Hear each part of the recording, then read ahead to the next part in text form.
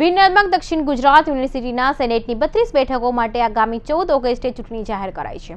તેવામાં અખિલ ભારતીય વિદ્યાર્થી પરિષદ ચૂંટણી લડનાર ડોનર અને જનરલ બેઠક બાર ઉમેદવારોના નામ જાહેર કર્યા છે.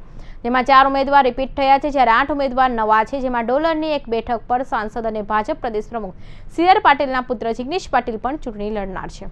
યુનિવર્સિટી સેનેટ ચૂંટણી બે હજાર બાવીસના કાર્યક્રમ જાહેર કરવામાં આવ્યા છે. જુદા જુદા છ વિભાગોમાં કુલ બત્રીસ બેઠકો છે, જેમાં યુનિવર્સિટી વિસ્તારમાં આવેલી માધ્યમિક શાળાઓના શિક્ષકોની બે બેઠકો. માધ્યમિક શાળાઓ હેડમાસ્ટરની બે બેઠકો, સંલગ્ન કોલેજના આચાર્ય યુનિવર્સિટી અનુસ્થાનક વિભાગના વડાઓ અને માન્ય સંસ્થાઓના વડાઓ સહિતના જુદા જુદા વિદ્યાશાખાના શિક્ષકો. આર્ટ્સ, સાયન્સ, મેડિસિન વિદ્યાશાખા દરેક મતદાર વિભાગોની બે બેઠકો, અન્ય વિદ્યાશાખાની પ્રત્યેક એક બેઠકો મળી કુલ ચૌદ બેઠક નોંધાયેલા અંડર ગ્રેજ્યુએશન જુદી જુદી વિદ્યાશાખાઓ મતદાર વિભાગ પ્રત્યેકની એક બેઠક મળી કુલ અગિયાર બેઠકો યુનિવર્સિટી વિસ્તારમાં આવેલી નગરપાલિકાઓના પ્રમુખો, એક બેઠક અને દાતાઓના મતદાર વિભાગની બે બેઠકો છે. ઉમેદવારની છઠ્ઠી ઓગસ્ટ સુધી ફોર્મ ભરી શકાશે. સાત ઓગસ્ટ ઉમેદવારી પત્રકોની ચકાસણી કરવામાં આવશે. નવ ઓગસ્ટ ઉમેદવારી પત્રક પરત ખેંચવાની છેલ્લી તારીખ બાર જુલાઈ છે. યુનિવર્સિટી કાર્યાલય ખાતેથી ઉમેદવારીનું પત્રક વેચાણ શરૂ થશે.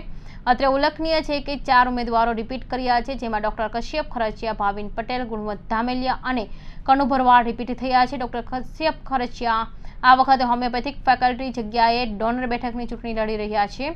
જોકે તેમની સાથે નવસારી સાંસદ અને ભાજપ પ્રદેશ પ્રમુખ સી આર પાટીલના પુત્ર જિગ્નેશ પાટીલ પણ ડોનર બેઠક પર ચૂંટણી લડી રહ્યા છે.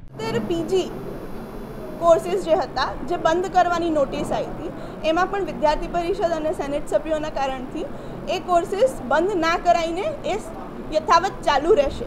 એ પ્રકારનું આંદોલન વિદ્યાર્થી પરિષદે કર્યો અને સેનેટ સભ્યોના મદદથી જે વિદ્યાર્થી પરિષદના આંદોલનથી સેનેટને એમાં મંજૂર આવ્યો આપણને ખ્યાલ છે કે વિદ્યાર્થી પરિષદ સતત પ્રવેશ પરીક્ષા અને પરિણામ માટે લડતું હોય છે.